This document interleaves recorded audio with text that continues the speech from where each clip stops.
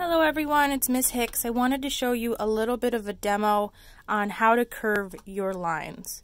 So you have your paper, okay, and then you're going to take your three seconds and you're going to make your lines and however you want to make them, that's how you will make them.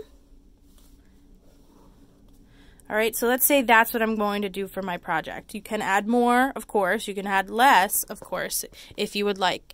But the next thing you want to do is you want to take all of these intersections and you want to curve out your lines and fill them in.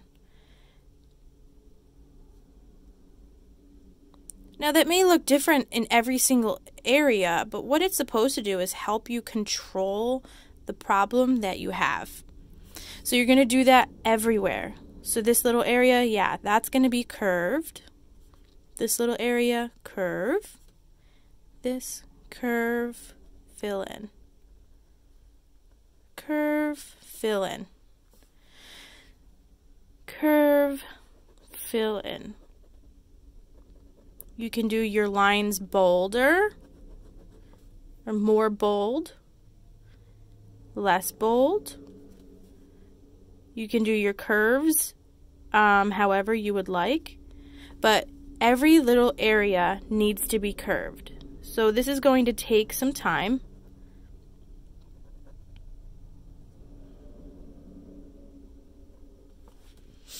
Now, if you didn't start doing this process yet, you could do a second one. You can do a second project, and your first one could be your extra credit project.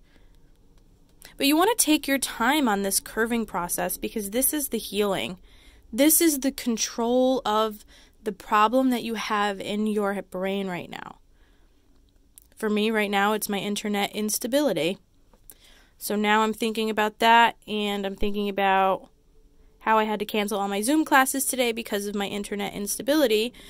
And that's the problem that I'm thinking about.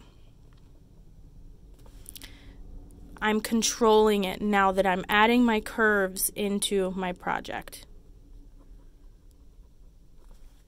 Then you'll take your coloring material and you will color in your areas that are ready to go. But this is not ready to be colored yet because I have not curved all of my intersections. Even these ones. Curve. Doesn't matter how small they are or how large.